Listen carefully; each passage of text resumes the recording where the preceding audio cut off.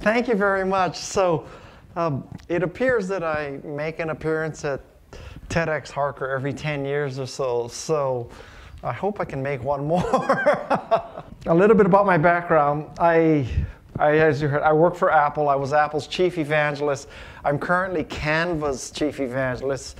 Uh, hopefully, some of you may use Canva. And I'm also the host of this Remarkable People podcast and I have interviewed about 160 people, and you develop some pattern recognition of, of what makes people remarkable. And it's not obvious from the outside looking in when you see someone like Neil deGrasse Tyson or Jane Goodall, you know, what made them remarkable. So this presentation is my analysis of what made people like that remarkable. And uh, I hope that this will help you become remarkable too. So this is about how to be remarkable. And these are unseen, unexpected, maybe even hidden and counterintuitive things that I learn about why people become remarkable. And you know, from the outside looking in, you think, well, you know, being remarkable is all fun and games and it's like cool and uh, you get to hang out with Barack Obama and Bill Nye and take selfies if you're Neil deGrasse Tyson. Or if you're John M. Chu, you make Crazy Rich Asians and this is a great film and you know that's cool and everybody knows you and you're famous. Or if you're Brandi Chastain and you win the World Cup and Olympic gold medals, from the outside looking in, it looks like all spectacular and easy and like instant success. And then if you're really lucky, you get Jane Goodall to look for lice in your hair. And I, I just want to show you that underneath all of this and before all of this, a lot of things happened. And so this, this concept of sort of being instantly remarkable, um, I have found to be completely false. It takes a long time to do this. And so these are my 10 observations about how you can be remarkable or more remarkable too, okay? So the first thing, uh, I think that the world has done many young people a disservice when many people tell you to find your passion, pursue your passion. And it's almost as if, you know, at the age of 18, 19, or 20, you should have already found your passion. And for those of you who have not found your passion, you're thinking, well, am I an underachiever? Am I a failure? Why have I not yet found my passion? And I think this is much too high a bar, and it's an unfair bar to most people. That my observation is that instead of trying to find your passion, you should pursue interests.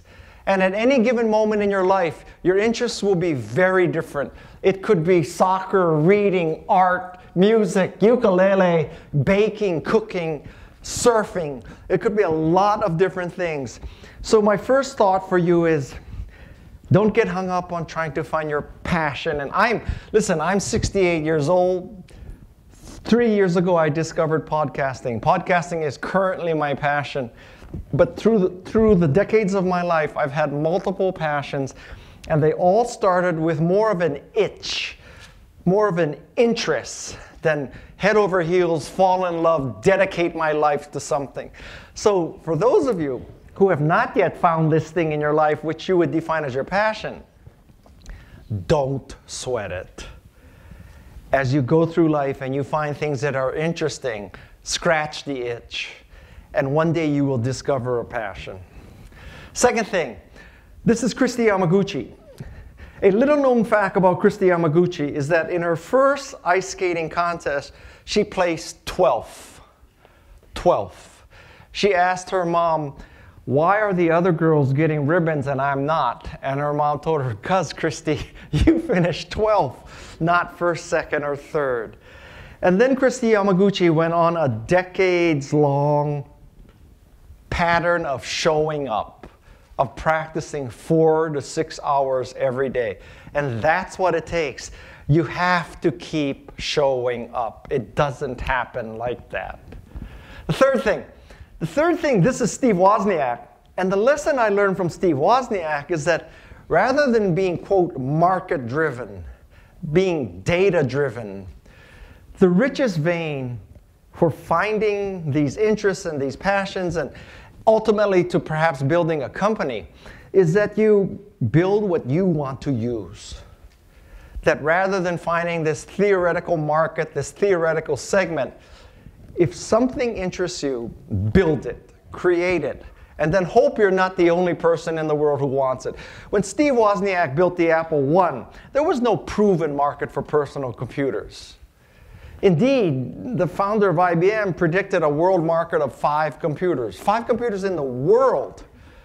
Steve Wozniak built an Apple I. It was the computer that he wanted to use.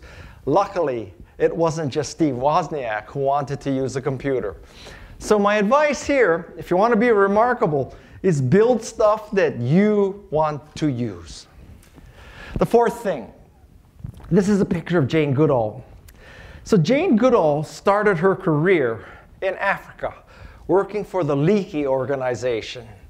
Now, you would think that working for the Leakeys, Jane Goodall, who she is today, truly a remarkable person, she must have had a PhD in biology or zoology from Oxford or Cambridge or Stanford or Harvard, something like that, right? So she had these amazing qualifications. She got hired by the Leakey organization. She started interacting with chimpanzees, and the rest is history. Well, let me correct the story for you. Jane Goodall came from a, a very, well, not a very, she came from a poor family. And coming from a poor family, she went to school and she learned secretarial skills because that was the closest path to employment. When she went to Africa, it just happened that the secretary for the Leakey organization quit. So there was an opening for a secretary in the Leakey organization. So Jane Goodall got her job in Africa for the Leakey organization because she had secretarial skills. Not because she had AP Bio, AP Calculus, AP Physics. She didn't have a 4.2 GPA.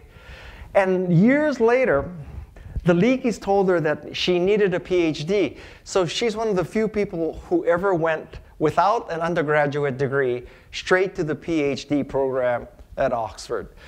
The lesson that I learned is get in any way you can. It would be great if you got the perfect job because of your perfect cur- curriculum, because of your perfect background, your perfect work experience. God bless you if you can pull that off. But you know what? Remember Jane Goodall. She got in because she had secretarial skills, not because she had a PhD in biology. Don't be proud. Get in. Listen, I got my job at Apple as a software evangelist. I have an undergraduate degree in psychology. That was the easiest major I could find at Stanford. And I really, I, I after to tell you about my checkered past. So after I graduated from Stanford, I went to UC Davis Law School. I lasted two weeks. I quit law school after two weeks. And then I went back and I worked in Hawaii. Then I came back to the mainland and I entered UCLA for an MBA. So the bottom line is I had no technical degree, no technical work experience. The way I got my job at Apple was pure 100% nepotism. My Stanford roommate hired me because we were friends. On paper, I was totally unqualified for that position. Uh, when I was being interviewed at the Macintosh division, the guy who hired me is named Mike Boich. So Mike Boich met with Steve Jobs after I, was, I had interviewed around the division. And Mike Boich said to Steve Jobs, so what do you think of Guy? And Steve Jobs' ringing endorsement of me was, he's okay, but if he doesn't work out, I'm to fire you too. That's how I got into Apple. Whether your secretary or your best friend hires you, don't be proud. Just get in. It doesn't matter how you get in, it matters what you do once you're in. And that also works the other way, too. Let's suppose that you are a trust fund baby, that your father or mother, amazing tech CEO or something, you know, and gets you in. The next day, it doesn't matter if you're Mark Zuckerberg kid. It doesn't, it really does not matter. So it can work both ways. Get in any way you can. Number five. Number five is when you are asked if you can do something, I have to be very careful here. I'm telling you, just say yes. When they ask, now, we, there are some limits to this. If somebody says to you, you know, can you perform a cochlear implant? I don't suggest you just say yes, all right? But if somebody says, you know, can you make a TikTok posting? Can you, can you figure out how to use Slack? Do you know how to use Trello? Do you know how to use all? Just say yes. I am telling you, fake it until you make it. You would be amazed. Most people are faking it until they make it. There are very few really qualified people.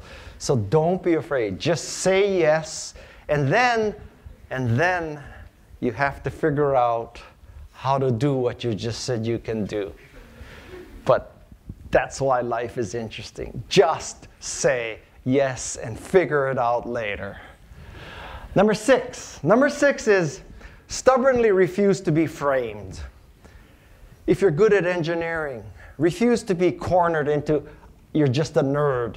If you're good at marketing, refuse to be cornered into you're just a good shuck and jive sales guy or gal. You need to refuse to be framed.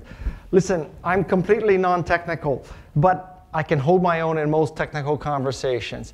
And you need to be able to develop that. So don't get pigeonholed if you want to be remarkable.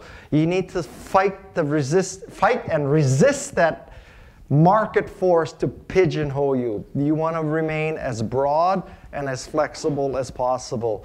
Don't let the world frame you. And I will tell you, maybe even more important, don't frame yourself. Don't get it in your head that I'm a math nerd, I'm a data wonk, that's all I can handle. Or I'm a artist, so I cannot handle numbers.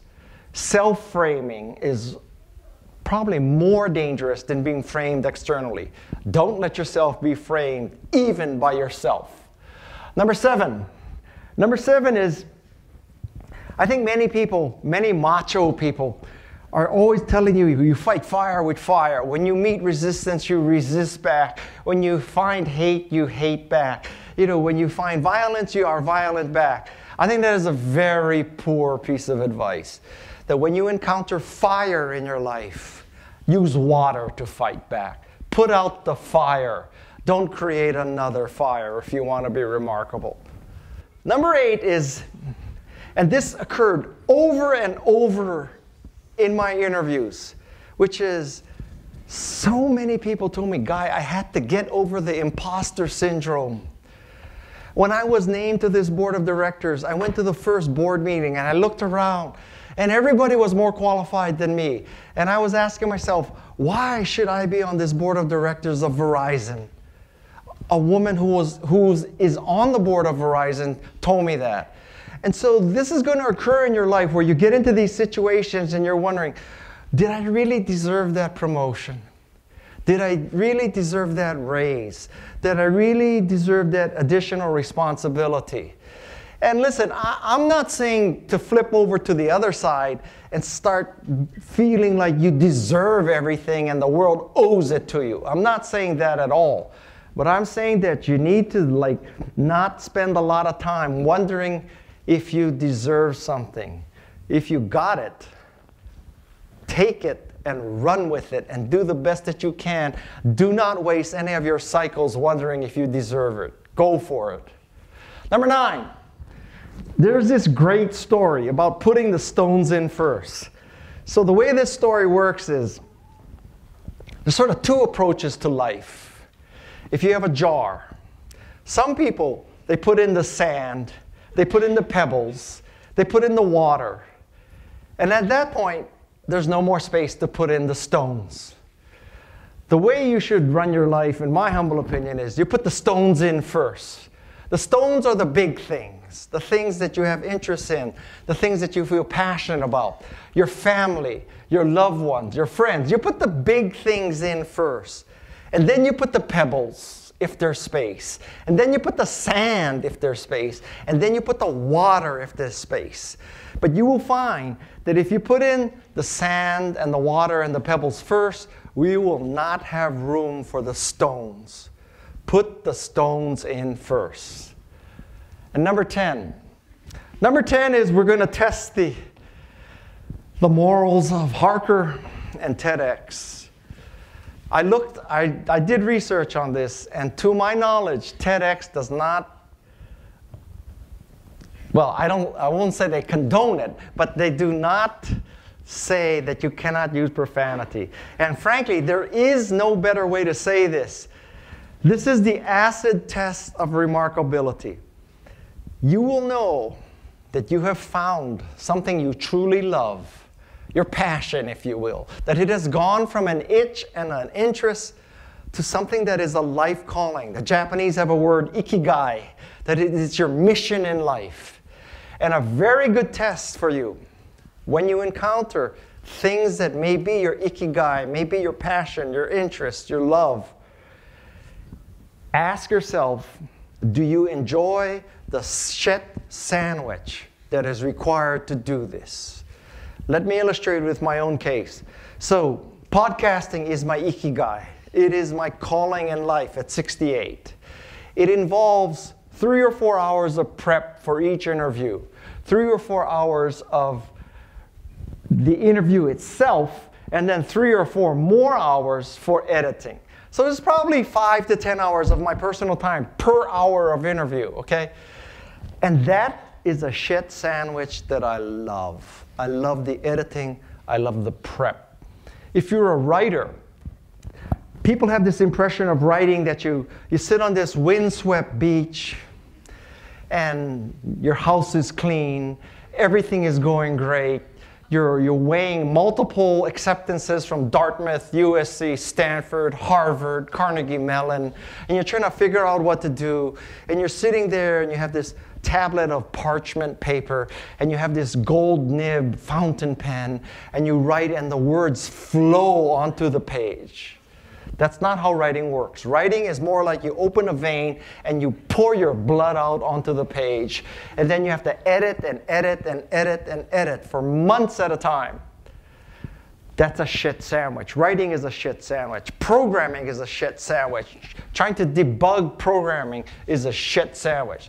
So I'm telling you, I'm leaving you with this final message, which is you will discover what you're going to be remarkable at when what it takes is loving the shit sandwich. When you love the shit sandwich, you're on the way to becoming remarkable. And that's how to be remarkable. Thank you very much. Thank you. Thank you.